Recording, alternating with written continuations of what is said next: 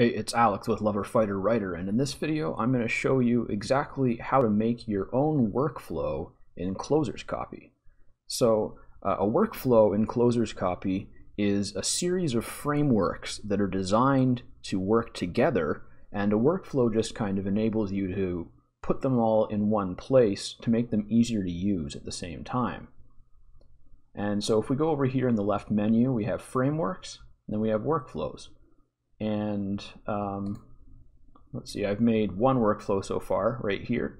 And today I'm going to make a second one, and I'm going to show you how that works. So the first thing that you need to do is make the frameworks that you want to put into the workflow. And if you don't know how to make a framework yet, I actually have a video on that uh, that a lot of people have gotten a lot of benefit from. I'm going to put a card for it in this video so you can click on that, but I'll also put the link in the description. So if you don't know how to build frameworks yet, then go and watch the frameworks video before you watch this video and then come back and watch this video.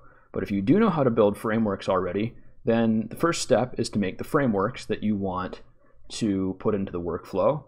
And uh, if I go to business in my library, I've got this slogan generator, which is just a small framework. It was one of the first ones that I made. And then I've got SWOT Analysis Helper, SWOT Analysis Helper 2, and SWOT Analysis Helper 3. And if you're not familiar with uh, the term SWOT, it stands for Strengths, Weaknesses, Opportunities, and Threats. And it's a kind of analysis that you can do on a business in order to uh, really nail down the business's strengths, weaknesses, uh, opportunities, and threats. So it's a really good way, uh, it's a good thing to do about once a year and uh, to really nail down how you can shore up your weaknesses, how you can deal with any disadvantages that you may have, and how you can uh, exploit your strengths and the existing opportunities, and so on and so forth. So, anyways, these are the frameworks that I'm going to use. And uh, I will, uh, by the time I publish this video, I will have shared these in the, uh, I haven't shared them yet, but by the, by the time I publish this video, I should have shared them. And I will also share the workflow once I make that. Um, so anyways, those are the frameworks. And now I'm just going to go to workflows. And it works very similar to creating a framework. You go to new right here. It's going to be a new workflow. And I'm going to name it SWOT analysis generator.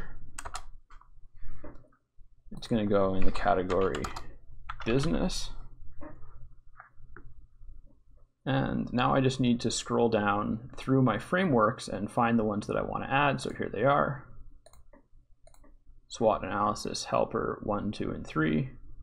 And now I just click save. And now I have my uh, my SWOT analysis generator, in addition to my freelance profile generator, which is another workflow I made, which I'm going to be sharing in a separate video.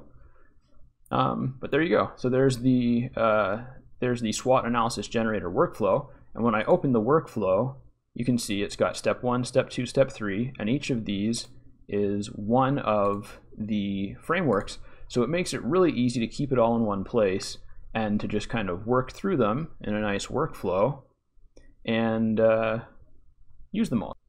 Anyways, that is how you create your own workflow in Closers Copy.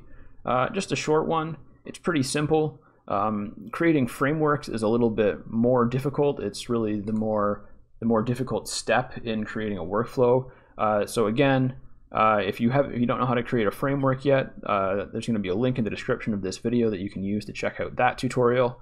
And uh, leave me a comment uh, if there's any particular thing that you need help with regarding closers copy or copywriting in general, feel free to leave me a comment and uh, I'll be happy to try and create a video that will be helpful to you. All right, thanks for watching and I'll catch you in the next video.